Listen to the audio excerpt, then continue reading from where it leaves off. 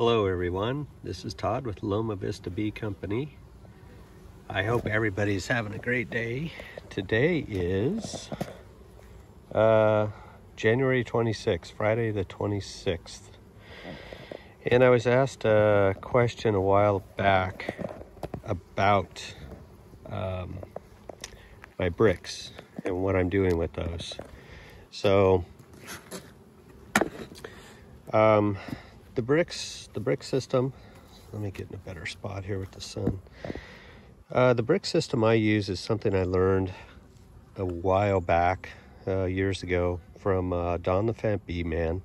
And it's a simple system, and I I make it, I customized it to whatever I wanted. So here's the deal. First of all, you have a brick that's in the center of the lid, and when I see that, I know that there's nothing wrong with this colony. Everything's good. It's good to go. You know, everything's on track. Now, let's say, for instance, something's wrong. Not sure which or what.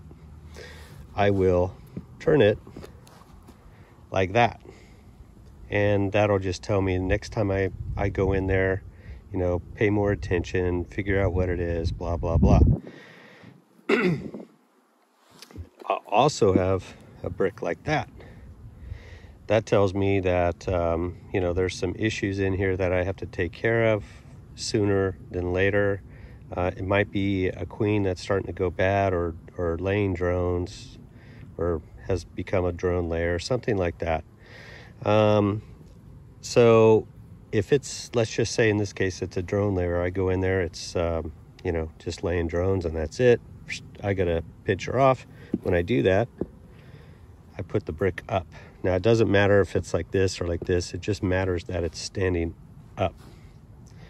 So it's easily seen throughout the bee yard. I could say, well, that one has no queen or that one has no queen, whatever, whatever the number is, right? so let's say it, uh, it needs a new queen. Uh, it's queenless.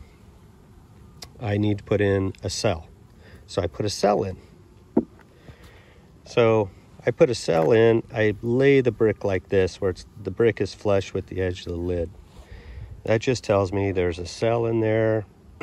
um, you know, I have to wait until it hatches and takes its mating flight, stuff like that.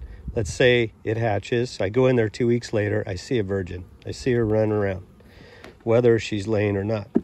Well then, excuse me guys, my, my allergies are killing me today. Um, so I have a virgin run around in there. I lay the brick over the edge of the of the lid a little bit. That tells me I have a virgin in there. So okay, so I have a virgin in there. I will leave the brick like this until I come back, you know, if it's two weeks later, three weeks later, whatever the case is. Um, I'll leave it like this until I see that she is laying a good pattern. Um, she's, you know, got everything situated in there. And then when I know that, the brick goes back to normal.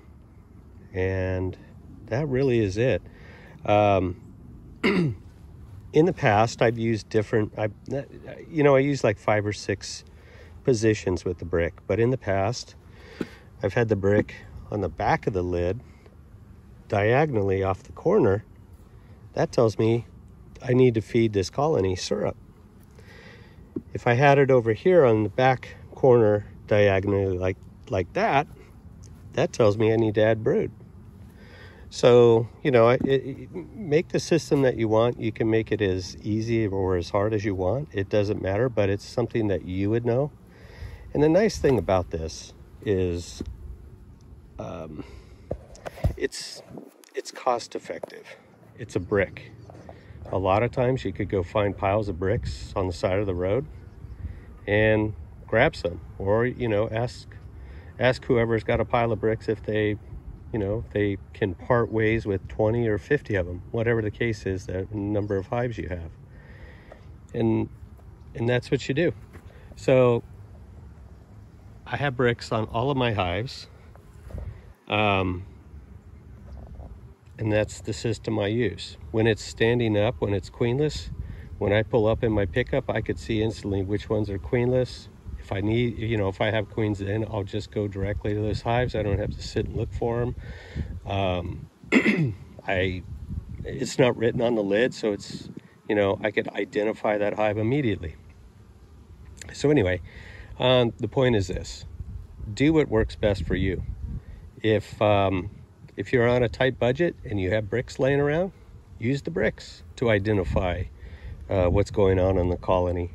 Um, there, there are other things out on the market. Um, I'm sure you're aware of, but you know, for me, this is the easiest uh, and most economical way for me to do it. And you know what? I'm going to outgrow this system, and when I do, I probably won't have a system. I'll have to do something differently that is going to take some thought. But anyway, um, I just wanted to show you this. It's uh, just a just a simple tip.